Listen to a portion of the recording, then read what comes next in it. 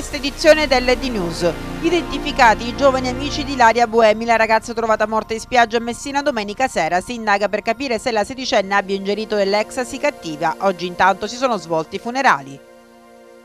Ancora una tragedia nel canale di Sicilia, l'ennesimo naufragio di migranti è avvenuto a circa 40 miglia dalla Libia, 52 le vittime. La nomina del direttore Gianmanco all'ASP di Catania apre finalmente una nuova stagione di stabilità per la sanità catanese. Adesso però serve un confronto per parlare di piante organiche e di stabilizzazione. A dichiararlo il segretario provinciale della WIL FPL Stefano Passarello e la CISL chiede che sia avviato il Dipartimento per l'integrazione sociosanitaria. Strade della città sempre più pattumiere a cielo aperto con un notevole rischio per i cittadini. Abbiamo fatto un non sopralluogo in diverse zone di Catania. Vacanze più sicure per chi viaggia in auto, basta seguire semplici e pochi consigli forniti alla polizia stradale. Intanto Manfredi Zammataro e l'associazione Codici denuncia la pericolosità dell'autostrada Catania-Siracusa con la galleria completamente al buio.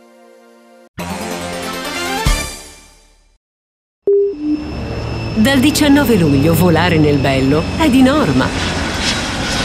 Territorio, cibo e cultura il luogo d'arrivo. Norma That's Sicilia, l'officina delle eccellenze. Aeroporto Fontana Rossa Catania, ex Terminal Arrivi. Format rendiamo concrete le vostre idee. Stampa digitale, allestimenti, insegne, cartotecnica, lavorazioni a frese e laser, progettazione e realizzazioni in plexiglass. La stampa che prende format. Entra da Mondo Ragazzi e troverai tante idee per rendere felice il tuo bambino. Mondo Ragazzi è il mondo dei piccoli, abbigliamento e calzature da 0 a 16 anni con i marchi più prestigiosi. Da Mondo Ragazzi corsi preparto gratuiti, parcheggio riservato, angolo fasciatoio e stanze dei giochi. Mondo Ragazzi, amici d'infanzia. A Catania in via Pola 19, ad Agrigento in via Tenea 22, a Sciacca in via Licata 95 e a Giarre in Corso Italia 168. I due giovani che erano con la sedicenne Ilaria Boemi nel momento in cui ha perso i sensi e poi è morto sulla spiaggia del Ringo a Messina sono stati identificati. Si tratta di una minorenne coetanea di Ilaria e di un ragazzo maggiorenne. La polizia sta cercando di ricostruire con loro gli ultimi momenti della vita della giovane. La pista privilegiata dalla procura è che la ragazza possa essere morta dopo aver ingerito dell'ecstasy cattiva. I due ragazzi vengono sentiti come persone informate dei fatti. Secondo le prime informazioni non sarebbero stati loro a consegnare eventuali sostanze stupefacenti stupefacenti alla minorenne sarebbero fuggite all'arrivo di persone per paura di essere coinvolte e la squadra mobile sta cercando di accertare se conoscono l'eventuale spacciatore che abbia venduto l'ecstasy a Ilaria. Per conoscere con certezza la causa della morte Ilaria bisognerà comunque aspettare l'esame tossicologico. Intanto l'autopsia effettuata ieri mattina al Policlinico di Messina, secondo le prime informazioni, non sono risultate malformazioni o patologie congenite. La possibilità che la ragazza sia deceduta a seguito dell'assunzione di droga dunque è una possibilità concreta, mentre la possibilità che viceversa vi sia della droga letale in circolazione è soltanto un'ipotesi investigativa sulla quale stiamo lavorando, afferma il procuratore aggiunto di Messina Sebastiano Ardita che sta coordinando le indagini. Se dovessimo trovare conferma a questa ipotesi, aggiunge, avvieremo controlli anche con le altre procure che trattano casi analoghi per verificare se in Italia sta girando l'ecstasy letale. Intanto questa mattina nella chiesa valdese di via 24 maggio a Messina si sono svolti i funerali della ragazza, commovente il ricordo della sorella. Siamo cresciute insieme, io la sorella maggiore e tu quella minore, i primi bagnetti insieme, i primi giochi insieme, le prime risate insieme, le prime litigate insieme, a volte anche qualche bastonata. In un post su Facebook la sorella poi aggiunge: Crescendo le nostre strade si sono divise e tu non eri più la stessa. Solo Dio sa quante volte mi faceva il sangue amaro a vederti con un piercing nuovo, con un nuovo colore di capelli, ma allo stesso tempo rivedevo nei tuoi occhi la stessa bambina di un tempo, desiderosa di affetto e di una mano di aiuto, ed io non potrò mai perdonarmi di non essere stata in grado di farlo, perché io ero quella più grande, io dovevo dirti cosa era giusto e cosa no, che questa vita fa schifo e che non bisogna fidarsi delle persone. Scusami, conclude nel posto la sorella. Il canale di Sicilia si trasforma ancora una volta in una tomba per decine di uomini e donne e bambini che scappano da guerra e disperazione. L'ennesimo naufragio di migranti, ormai se ne conta quasi una settimana, è avvenuto a una quarantina di miglia dalla Libia, non molto lontano dal punto dove il 5 agosto scorso è affondato un barcone con a bordo oltre 600 persone, almeno 200 delle quali sono finite in fondo al mare. Stavolta i dispersi, dunque morti, potrebbero essere almeno 50, secondo il racconto fatto agli stessi sopravvissuti agli uomini della della Marina Militare che li hanno soccorsi e salvati. Il gommone su cui viaggiavano, hanno detto, era partito nella notte dalla Libia, ma a un certo punto la navigazione ha iniziato a sgonfiarsi. Un problema non nuovo, visto che ormai da mesi i trafficanti di uomini che operano sulle coste libiche utilizzano gommoni monocamera con un fondo formato da un paio di assi di legno e nient'altro. Bare galleggianti, insomma, che vengono riempite di 100-120 migranti per viaggio, con un motore 40 cavalli e due taniche di benzina. Basta una scintilla di sigarette, un oggetto appuntito che struscia anche involontariamente sul galleggiante e il disastro è fatto. Il gommone va a fondo in pochi minuti. Così probabilmente è accaduto oggi e solo la prontezza degli uomini della Marina Militare ha consentito di evitare che di questi disperati non si sapesse nulla come accaduto già altre decine di volte. L'elicottero di nave Mimbelli in perlustrazione nella zona infatti ha avvistato il gommone in difficoltà e ha subito lanciato le zattere di salvataggio. Dal gommone non era partita nessuna chiamata di soccorso, forse perché nessuno a bordo aveva un telefono satellitare. Gli uomini sull'elicottero inoltre hanno immediatamente lanciato l'allarme in pochi minuti è arrivata a tutta velocità in zona nave Fenice che aveva appena terminato un soccorso di altri 120 migranti.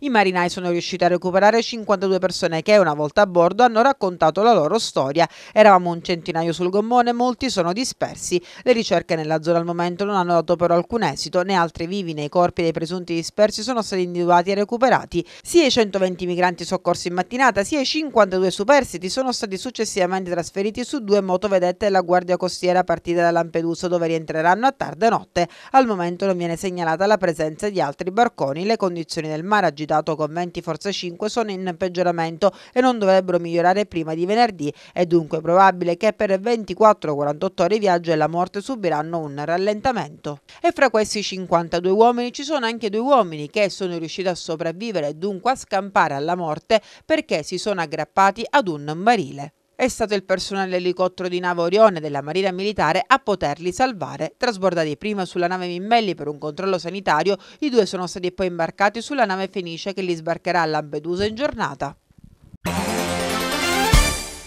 Dopo mesi finalmente arriva l'ok da parte della giunta regionale alla nomina di Giammanco quale direttore dell'ASP di Catania, un'ASP rimasta per troppi mesi senza una guida, quindi una nomina che adesso potrà portare solo stabilità a quella che è la situazione catanese, il sistema ospedaliero catanese, così come voi della WIL avete da sempre auspicato. Ciò che serve adesso è un, un confronto col nuovo direttore generale perché comunque i problemi non mancano, piante organiche carenti, problemi nei pronto soccorso, corso, insomma una nomina importante ma adesso bisogna lavorare.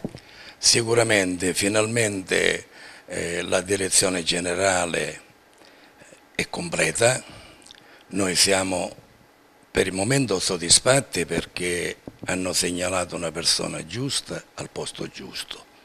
Sicuramente noi, eh, la segreteria provinciale della Will di Catania, diretta da Fortunato Parisi, ed io come FPL con la mia segreteria ci sarà sicuramente un confronto col direttore generale perché da parecchi mesi, quasi un anno, è stata come dire andiamo avanti tanto per campare. La situazione è un po' disastrosa, l'impegno è così tale che noi dobbiamo fare sempre ragionamenti di confronto, dobbiamo vedere la pianta organica, cosa manca realisticamente Dobbiamo vedere i pronto soccorsi nella provincia di Catania come funzionano. Dobbiamo dare al contratto anche le fasce che per il momento i lavoratori sono penalizzati.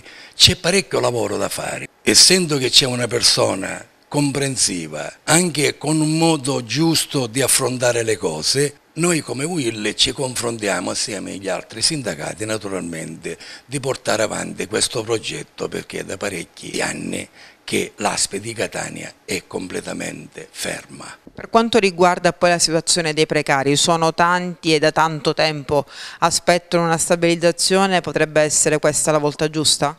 Sicuramente perché c'è stata una grande discriminazione l'anno scorso. La cosa che non ha funzionato, hanno licenziato per scadenza di contratto giustamente e poi hanno considerato altri che l'hanno fatto entrare discriminando quelli che avevano già il contratto. Eh, queste cose si devono abolire completamente. Noi come Will questo confronto lo desideriamo col direttore generale per avere la chiarezza soprattutto per come devono andare le cose. E sulla nomina del dottore Giammanco all'ASP di Catania interviene anche la CISL e la CISL FP. I due segretari, Rosaria Rotolo e Armando Cocono, sperano adesso che il Dipartimento per l'integrazione sociosanitaria la stabilizzazione dei 32 precari e un lavoro di squadra per la comunità catanese siano i punti principali su cui confrontarsi. Oggi finalmente dicono con la ratifica della giunta regionale è stata messa alla parola fine a un periodo di indeterminatezza durato quasi tre mesi e si potrà lavorare tutti insieme nell'interesse dei cittadini, dei lavoratori e delle potenzialità del territorio catanese. Per Rotolo e Coco c'è da portare avanti la revisione dell'atto aziendale per adeguarlo a quanto previsto dagli atti nazionali e regionali in tema di sanità, per dare maggiore efficienza ai processi aziendali dell'ASP catanese. L'obiettivo, sottolineano, è costruire quel Dipartimento per l'integrazione sociosanitaria, tappa fondamentale per la valorizzazione e per l'attività territoriale, come i servizi agli anziani, l'assistenza domiciliare, il ruolo del medico di famiglia e l'istituzione dell'infermiere a domicilio.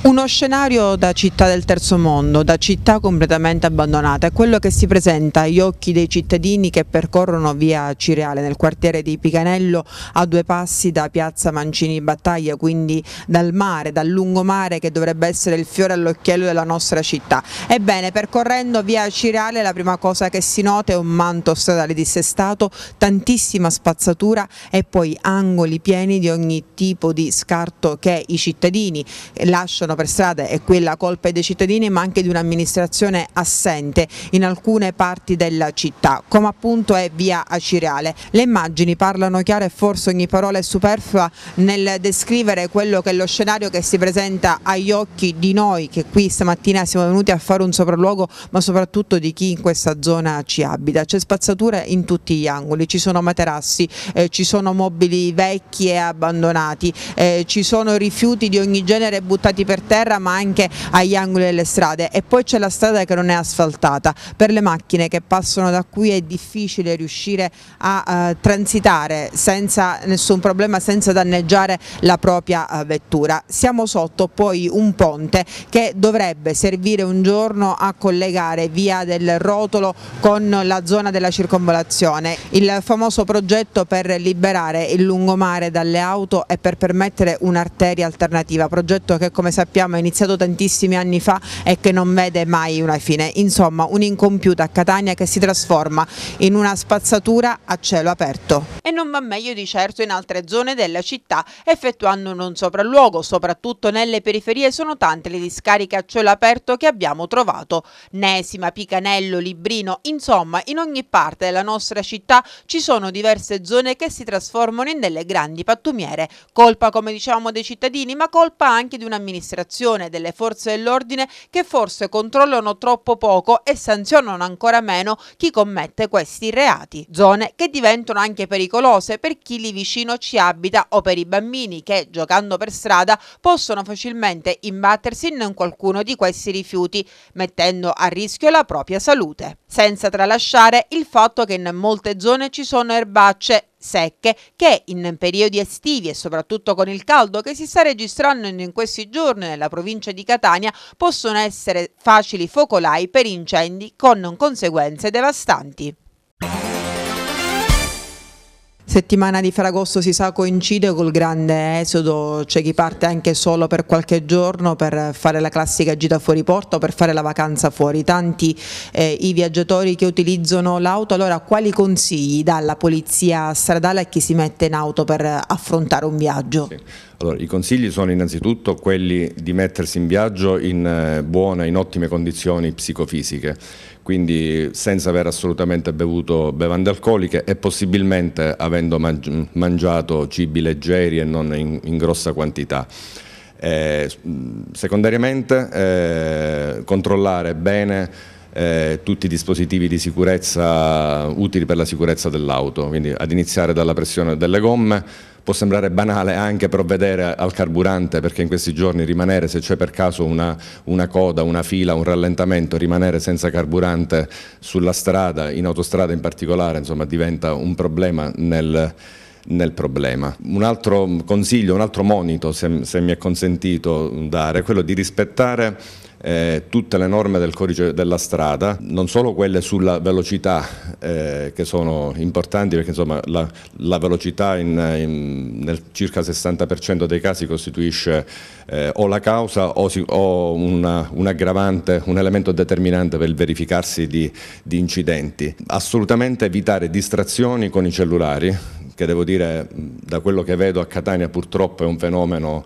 eh, ricorrente e anche più, è quasi ormai diventata una, una piaga, oserei, oserei, dire, perché insomma, mh, vediamo utenti conducenti di, di, mezzi, anche di mezzi pesanti, che utilizzano il cellulare e in questo senso c'è una campagna già in atto da parte del Servizio Polizia Stradale di Roma volta a sensibilizzare tutti quanti e in particolare gli organi di Polizia Stradale a censurare e a reprimere questo fenomeno.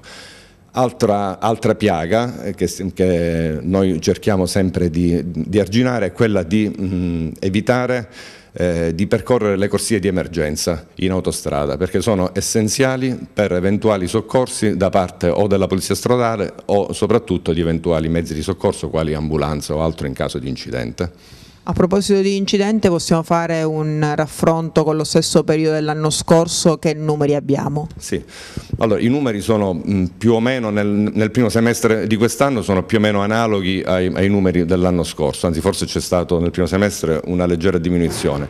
Viceversa in ambito nazionale eh, abbiamo riscontrato, la Polizia Stradale nei primi 20 giorni di luglio ha riscontrato un aumento di circa il 30% degli incidenti mortali. Speriamo che sia un fatto episodico ma è un, è un segnale importante, insomma, ci deve far riflettere noi come, come Polizia Stradale e tutte le altre forze di polizia a prestare maggiore attenzione e anche gli utenti della strada uh, a stare particolarmente attenti insomma, vista, vista questa recrudescenza di questo, di questo fenomeno. A mettersi in auto sono soprattutto tantissimi giovani, soprattutto dopo serate non sempre condotte nel migliore dei modi. I fatti di cronaca degli ultimi giorni purtroppo ci informano a tal proposito di eventi molto brutti. Voi fate classici test per quanto riguarda l'alcol, siete anche in grado di fare dei test tossicologici o quelli non competono a voi?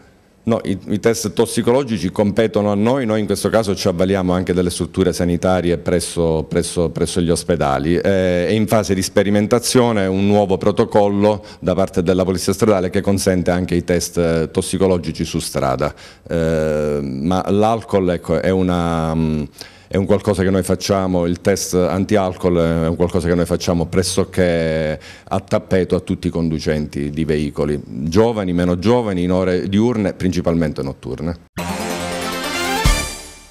Da autostrada eccellenza, fiore all'occhiello in Sicilia ma anche in Italia, adesso la Catania-Siracusa è diventata l'autostrada dimenticata, in particolar modo per quanto riguarda eh, tutti quegli accorgimenti che dovrebbero fare di una strada una strada sicura. Parliamo ad esempio della galleria, quella lunga più di 3 km, completamente al buio. Ciò mette a rischio l'incolumità degli automobilisti che una volta entrati in galleria eh, si sentono costretti quasi a frenare o rallentare eh, di botto creando difficoltà porta anche alle macchine che si trovano dietro. Sì, eh, diciamo che la situazione, la salute delle autostrade siciliane eh, non è certamente delle migliori, eh, parlo della Catania-Messina, eh, anziché la, la stessa Catania-Palermo con tutte le problematiche collegate, ma ciò che colpisce certamente è la, con, le condizioni che riguardano la Catania-Siracusa, che appunto era un'autostrada eh, intanto molto più moderna, molto più presentata e inaugurata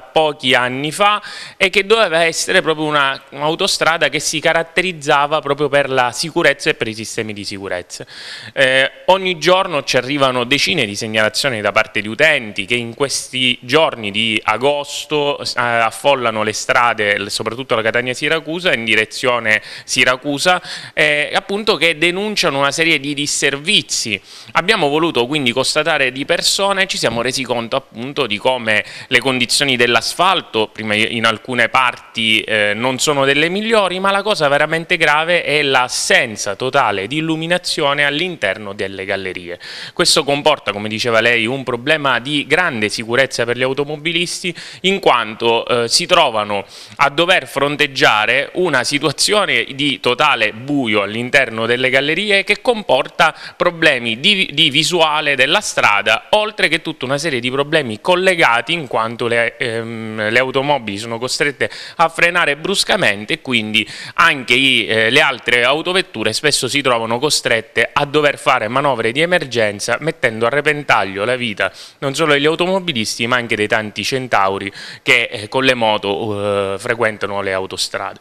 Eh, io eh, e la nostra associazione, l'associazione Codici, da questo punto di vista sta raccogliendo tutte queste segnalazioni intende prima di tutto fare una richiesta formale di accesso agli atti al Consorzio Autostrade Siciliane per capire per quale motivo ad oggi ancora questo problema non è stato risolto tenuto conto che ormai da diverse settimane, se non da mesi, che questa situazione permane. Non, ci, non capiamo com'è possibile che con tutti gli operai eh, dediti alla manutenzione la, il, il, Consorzio Autostrade Siciliane non, ha, non, sia voluto intervenire prontamente in maniera veloce. Eh, questo proprio perché eh, riteniamo che in un periodo così, a così alta affluenza di mezzi e di veicoli all'interno delle autostrade aumenta inevitabilmente il rischio di incidenti Un'altra segnalazione riguarda le colonnine dell'SOS che in molte parti ormai della, delle autostrade sono totalmente dismesse, non funzionanti. Questo cosa comporta? Che se un automobilista disgraziatamente dovesse avere un problema con la propria automobile, non avere campo col cellulare, avere un cellulare eh, in quel momento non in uso, non può materialmente chiamare aiuto. Non è una condizione questa di sicurezza per i cittadini, per questo ci muoveremo se il problema non sarà risolto eh, in brevissimo tempo ci muoveremo anche con un esposto alla Procura per una denuncia formale in quanto vi è un serio attentato alla sicurezza degli utenti della strada.